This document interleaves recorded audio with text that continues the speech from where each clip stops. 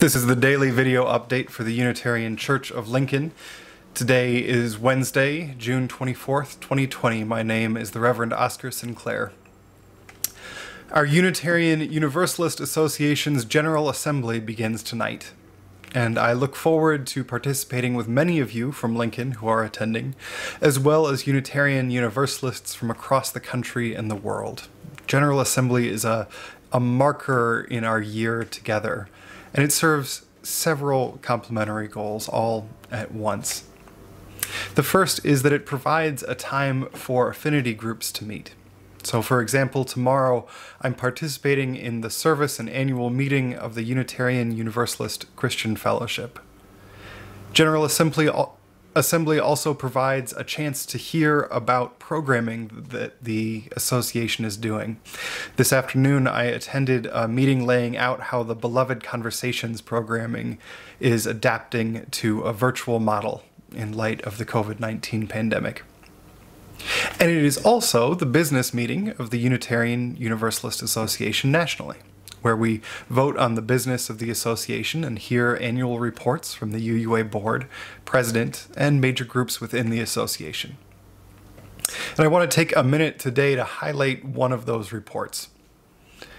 Three years ago, the Unitarian Universalist Association named a Commission on Institutional Change to explore the experience of Unitarian Universalists of color, to report on the events within the UUA in the spring of 2017, and to make recommendations for the kinds of specific systematic change that will help us live into the aspirations of our faith. That commission has been doing its work faithfully for three years, issuing interim reports and gathering information. This month, they have published their final report, Widening the Circle of Concern, and will present it at the Assembly tomorrow at 3 o'clock Central Time. Now, I, I can't claim that I've read the whole report yet. It is several hundred pages long. It's a book. Uh, and indeed, a copy of the book will be sent to each congregation in the association. But I have started to look through the Commission's recommendations, which range from national systematic changes to theological questions for us to engage as a faith, to concrete steps individual churches can make to be more welcoming. There's a link to the full report in a description of this video. I hope you'll look at it. I hope you'll start to engage in it.